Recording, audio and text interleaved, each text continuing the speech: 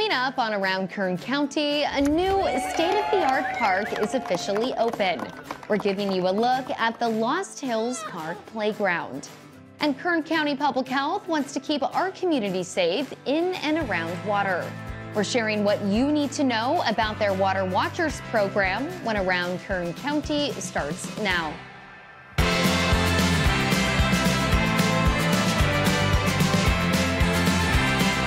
Welcome to this week's Around Kern County. I'm your host, Ali Triolo. We're kicking off this week's show by celebrating a major investment that is officially complete. The Lost Hills Park Playground is finally open to the public, thanks to our outstanding partnership with Caltrans, the wonderful company, and Park and Play Structures, a Playcore company. When we first started this project, our goal was to create a high quality outdoor play and recreation environment for the community of Lost Hills. We worked hard to be thoughtful and intentional about making this area inclusive, to encourage physical activity and movement for people of all ages and abilities. When our kids are active, that means they lead healthier lives. It means a more supportive and communal environment. It leads to better mental health, stronger social connections. This park is designed for all ages and will provide Lost Hills families with an inclusive, high quality outdoor play and recreation environment.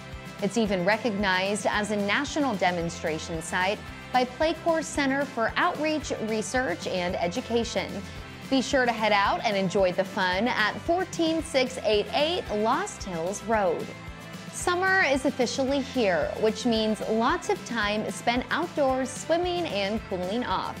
Anna Marie Odo has more on what you can do to keep your children safe. As the weather warms up, Kern County Public Health is encouraging the community to stay safe in and around water. Their latest Water Watchers program stresses the importance of water safety.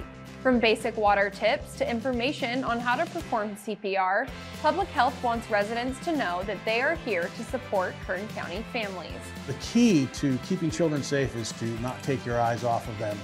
When children drown, uh, it's normally silent. You don't hear a lot of noise. There's not going to be anything that grabs your attention. They're just going to go under the water. And so it's vital to keep your eyes on them. So this helps you remember that while you're standing there for your time frame that you're watching the children. If something starts to happen, there's a whistle on here to get everybody else's attention. And so what Water Watchers is, is it's just simply a lanyard you put around your neck. You find one adult, set a time frame, every 15 minutes, every 30 minutes, and then you switch. So that way, there's somebody who knows that they're responsible for keeping their eyes on the children that are in the water. You can access these program resources at kernpublichealth.com. And another way you can stay cool this summer is by taking advantage of our free county programs. The Kern County Library is hosting their annual Summer Reading Challenge. Readers of all ages can sign up online at kerncountylibrary.org for a chance to win prizes, take part in fun activities, and check out books. You can also beat the heat at the Rosamond Community Pool at Jim Williford Park. Swimmers can make a splash from 11 in the morning until 5 in the evening on Saturdays and Sundays all summer long. And if you're an animal lover, the Kern County Animal Shelter is hosting their Streets of Bakersfield program where you can take shelter dogs on day outings. Your adventure can include a hike, a trip to the park, coffee date, or even hanging out at home. To view upcoming dates, just search Kern County Animal Services on Facebook. And before we go, we just want to remind you that cooling centers are officially open for the summer. As temperatures rise, you can beat the heat in a location near you. During these warmer months, cooling centers provide a safe haven for people at risk of extreme heat. They're run by Kern County General Services and our Department of Aging and Adult Services in partnership with PG&E.